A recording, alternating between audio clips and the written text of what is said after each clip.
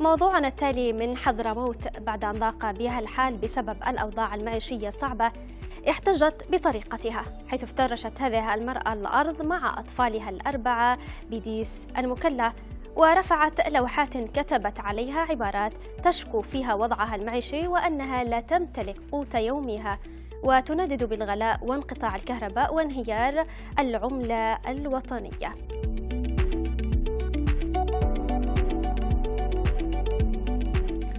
هزت الصورة مشاعر أبناء حضرموت مشاهدينا لتجسد مشهدا مؤلما ومؤثرا في آن واحد.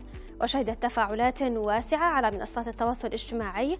ومن تلك التفاعلات اخترنا لكم ما كتبته الناشطة الحقوقية عائشة الجعيدي والذي كتبت قائلة امرأة وأم عظيمة من مدينة المكلا حضرموت جنوبي شرق اليمن. أخذت أطفالها ونزلت قعدت في نص الشارع تحتج وتعلن أنهم جوعانين ومعدومين بدل ما تروح تشحت بهم.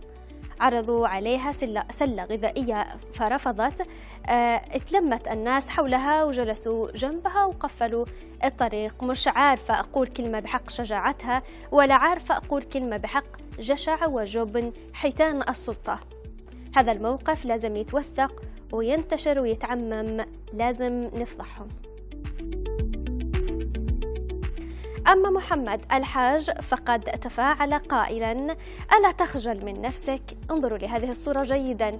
والله لو كان جبينك يعرق ولو كانت لديك ذرة من مسؤولية وكرامة لما نمت قرير العين وهذه المرأة الحضرمية ما زالت جائعة. تفترش الشوارع تبحث على ما يسد جوعها وجوع أولادها.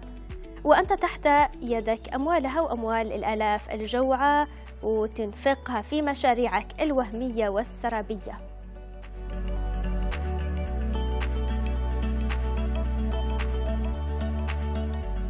أما أحمد باعباد فقد كتب قائلا هذه الثائرة الحضرمية أم أحمد التي خرجت إلى الشارع في المكلا واعتصمت وسط الشارع معلنة تمردها على الوضع في حضرموت. لقد رفضت هذه العفيفة كل المساعدة ولم تأخذ من أحد بل قالت إن خروجها إلى الشارع من أجل إيصال صوت الناس الغلابة الذين لا يجدون أبسط مقومات العيش لله. درك أيتها المقاومة. الإعلامي محمد اليزيدي كتب قائلا مقور على هذه المرأة في المكلا اللي أخرجها وأطفالها الجوع وقلة الحيلة وهي واحدة من آلاف الأسر تمر بنفس الوضع الصعب.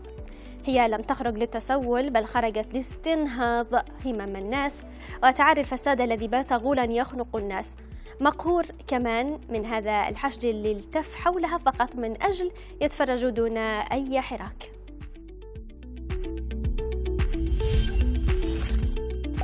رحل